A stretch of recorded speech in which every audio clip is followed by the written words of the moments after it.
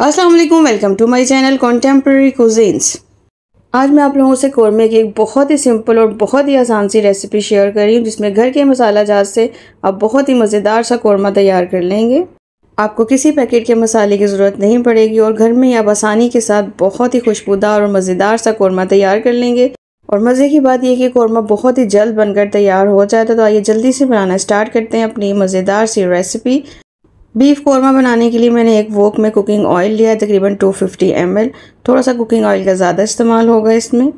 Oil को मैं थोड़ा गर्म होने दूँगी। अब इस ऑयल में मैं ऐड करूँगी बारीक कटी हुई प्याज, तकरीबन दो बड़ी साइज़ के प्याज को मैंने बारीक स्लाइस कर लिया था। इस प्याज को हमने बहुत अच्छी तरह से फ्राई करना है। गोल्डन ब्राउन सा इसे कलर देना है। जितना अच्छा गोल्डन कलर आप प्याज को देंगे, उतना ही अच्छा कलर आपके कौरमे में आएगा। अनियन को फ्राई करने में थोड़ा ज़्यादा टाइम लगता है तो इसको मैं फ्राई करती हूँ फिर आप लोगों को दिखाती हूँ। ये जी ज़बरदस्त है, गोल्डन से अनियन हमारे फ्राई हो रहे हैं। अभी थोड़ा सा इसमें वाइट कलर है, वो ख़त्म हो जाए, बिल्कुल ही गोल्डन हो जाए। गोल्डन कलर आने पर अनियन को मैं प्लेट में निकाल लूँगी और ठंडा होने पर इसे हम दही के साथ ग्राइंड कर लेंगे और इसका एक पेस्ट तैयार कर लेंगे। तो बस जी, बहुत अच्छी तरह से मैं इनको फ्राई कर लिया। आप देख रहे हैं कितना प्यारा इस पर गोल्डन कलर आ चुका है। इतना ही कलर हमें चाहिए था, ज़्यादा डार्क कलर नहीं देंगे। क्योंकि हम बीफ से कौरमा बना रहे हैं और ये रेड मीट होता है। ऑलरेडी रेड होता है तो अगर आप ज़्यादा डार्क ब्राउन कर लेंगे अनियन को तो आपके कौरमे का कलर ख़राब हो जाएगा। अनियन को मैंने प्लेट में निकाल लिया, ठंडा होने पर दही के साथ हम इसका पेस्ट तैयार कर लेंगे। कौरमा बनाने के लिए मैंने वन के जी से ज़्यादा बीफ का इस्तेमाल किया। आप चाहे तो मटन से भी कौरमा बना सकते हैं। अब उसी ऑयल में हम मीट को बहुत अच्छी तरह से फ्राई करेंगे। इतना अच्छा हमने फ्राई करना है कि मीट का कलर चेंज हो जाए और गोश्त का जो पानी होता है वो भी ड्राई हो जाए। तो बस ये डेढ़ से दो मिनट के लिए हम मीट को बहुत अच्छी तरह से फ्राई करेंगे। मीट की अपनी एक मखसूस स्मेल होती है, उस स्मेल को ख़त्म करने के लिए मैं कुछ साबुत मसाला जात का इस्तेमाल करूँगी। जिसमें शामिल है एक बे लीव दो छोटे टुकड़े मैंने दालचीनी के लिए दो बड़ी इलायची, आठ दस दाने काली मिर्च के लेंगे, चार से पाँच छोटी इलायची लेंगे और चार पाँच क्लोव्स लेंगे, यानी लौंगे। इन्हें हम मीट में शामिल कर देंगे, साथ ही मैं ऐड करूँगी जिंजर गार्लिक पेस्ट तकरीबन टू टेबल स्पून इन सब चीज़ों को ऐड करने के बाद मैं मीट को बहुत अच्छी तरह से फ्राई करूँगी, ताकि इसका कलर चेंज हो जाए, उसमें किसी किस्म की कोई स्मेल ना रहे। इसे अच्छी तरह से फ्राई करते हैं और फिर आप लोगों को दिखाते हैं। कौरमे में ज़्यादा काम इसकी भुनाई का होता है। आपने इसको बहुत अच्छी तरह से फ्राई करना होता है, ताकि आपके मीट में किसी किस्म की स्मेल ना आए। और जब आप इसका मसाला तैयार करें तो वो भी बहुत स्मूथ होना चाहिए। तो बस जी मीट को मैंने बहुत अच्छी तरह से फ्राई कर लिया। आप देख सकते हैं, इसका कलर चेंज हो चुका है, बड़ा प्यारा सा गोल्डन कलर इस पर आ गया है। जिंजर गार्लिक भी बहुत अच्छी तरह से फ्राई हो चुके हैं। अब मैं इसमें थोड़ा सा पानी ऐड करूँगी, तकरीबन दो से तीन टेबल स्पून उसे अच्छी तरह से मिक्स कर देंगे फ्लेम को लो पे करेंगे और इसकी अब हम सीजनिंग करेंगे। सॉल्ट में इसमें ऐड करें तकरीबन वन टी स्पून अपने टेस्ट के मुताबिक ऐड करें। रेड चिली पाउडर में इसमें ऐड कर रही हूँ one and half teaspoon Kashmiri लाल मिर्च का पाउडर इसमें जाएगा वन टीस्पून हल्दी में इसमें ऐड कर रही हूँ क्वार्टर टी स्पून हल्दी का इस्तेमाल आपने ज़्यादा नहीं करना है. धनिया पाउडर इसमें जाएगा तकरीबन वन टेबल स्पून साथ ही इसमें मैं ऐड कर दूँगी दही और प्याज का पेस्ट जो हमने अनियन फ्राई किए थे, उसको मैंने एक कप दही के साथ ग्राइंड कर लिया था, उसका एक स्मूथ सा पेस्ट बन गया इस पेस्ट को भी मैं इस कौरमे में ऐड कर दूँगी।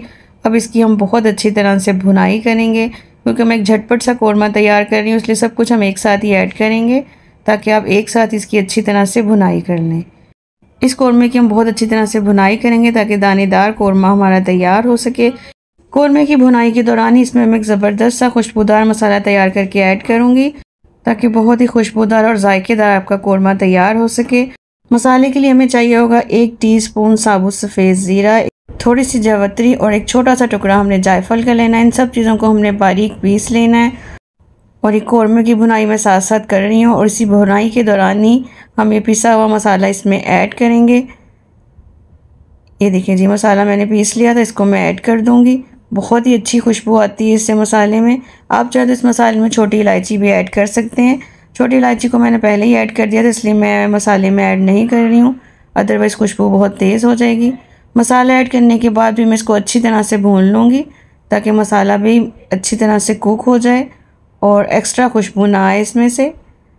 और आप देख सकते हैं, बहुत अच्छी तरह से मैंने इस कौरमे की भुनाई की है और बड़ा अच्छा इस पर कलर आ चुका है और ऑयल भी इसका ऑलमोस्ट ऊपर आ गया है, कौरमा हमारा भुन चुका है। अब हमने गोश्त को बहुत अच्छी तरह से गलाना है, उसके लिए इसमें मैं ऐड करूँगी तकरीबन तीन कप पानी और वो के किनारे वगैरह भी अच्छी तरह से साफ़ कर लेंगे ताकि मसाला उसमें लगा ना रहे, अच्छी तरह से इसे मिक्स कर देंगे। कौरमे का जो मीट है वो बहुत अच्छी तरह से टेंडर होना चाहिए, तभी आपको कौरमा खाने का मज़ा आएगा। तो बस जी, अब इसे हम गलने के लिए रखते हैं। कौरमे में आपने इतना पानी ऐड करना है कि मीट भी अच्छी तरह से टेंडर हो जाए और थोड़ी सी ग्रेवी भी रह जाए। इसको मैंने कवर कर दिया और मीडियम टू लो फ्लेम पे हम इसे तकरीबन 40 से 45 मिनट तक कुक करेंगे, जब तक अच्छी तरह से गोश्त गल ना जाए। कौरमे को जल्दी तैयार करने के लिए हम प्रेशर कुकर का इस्तेमाल भी कर सकते हैं और 20 से 25 मिनट में मीट अच्छी तरह से टेंडर हो जाता है। ये तकरीबन 45 मिनट हो चुके हैं इस मीट को कुक होते हुए। अब मैं इसका कवर हटाऊँगी। ये देख सकते हैं आप, इसका ऑयल ऊपर आ चुका है। बड़ा अच्छा सा मीट हमारा टेंडर हो चुका है। मैंने चेक कर लिया है। और ये देखें जी, ज़बरदस्त सा कौरमा हमारा बिल्कुल तैयार है। बस जिसको हम फाइनल टच देते हैं। मैं आपको दिखा दूँ कितनी ज़बरदस्त की ग्रेवी बनी। देखिए, ज़बरदस्त दानेदार इसकी ग्रेवी बनी है। और बहुत ही अच्छी इसमें से खुशबू भी आ रही है। इसकी खुशबू में और इजाफा करते हैं। इसमें मैं ऐड करूँगी पिसा हुआ गरम मसाला, तकरीबन वन टीस्पून और जो पहले साबुत मसाले मैंने ऐड किए थे, तेज़पात दारचीनी वगैरह, उसको मैंने निकाल लिया इसमें से, क्योंकि उसका मज़ीद फ्लेवर हमें नहीं चाहिए। इसे मैं अच्छी तरह से मिक्स कर दूँगी। कौरमा हमारा आलमोस्ट रेडी है। इतनी ही ग्रेवी हमें इसमें चाहिए थी, ज़्यादा ग्रेवी मैं नहीं कर रही हूँ। बस एंड पर मैं इसे दो मिनट के लिए दम पर रखूँगी, ताकि जो मैंने गरम मसाला ऐड किया, उसकी खुशबू भी अच्छी तरह से इसमें आ जाए। गार्निश के लिए इस कौरमे में मैं ऐड कर रही हूँ कुछ बादाम। इनका मैंने छिलका उतार लिया था। इससे बड़ा अच्छा लुक आता है कौरमे का। और बस अब मैं इसे कवर कर दूँगी। और तकरीबन दो से तीन मिनट के लिए इसे मैं रखूँगी बिल्कुल दम वाली फ्लेम पे, ताकि इसके फ्लेवर्स और अच्छी तरह से इसमें आ सकें। दो मिनट हो चुके हैं। कौरमा हमारा बिल्कुल रेडी है। इसका ढक्कन हटा लिया है मैंने। आप देखें, ज़बरदस्त कौरमा तैयार है। इसे हम सर्विंग डिश में निकाल देते हैं। ये जी कौरमे को मैंने सर्विंग डिश में निकाल दिया और उसे गार्निश भी कर दिया है बादाम से। और आप देख सकते हैं कितना ज़बरदस्त लुक आया हमारे कौरमे का। इसे आप नान के साथ, पराठे के साथ सर्व कर सकते हैं। बहुत ही अच्छा लगता है ये। आप देख सकते हैं बगैर किसी पैकेट के मसाले के घर में इस्तेमाल होने वाले नॉर्मल मसाला जात से हमने ज़बरदस्त सा कौरमा तैयार कर लिया है। और घर के मसालों से कौरमा जब तैयार करते हैं, वो पैकेट के मसाले से कहीं ज़्यादा टेस्टी और हेल्दी होता है। इसमें आपने किसी भी किस्म के प्रिजर्वेटिव का इस्तेमाल नहीं किया होता है।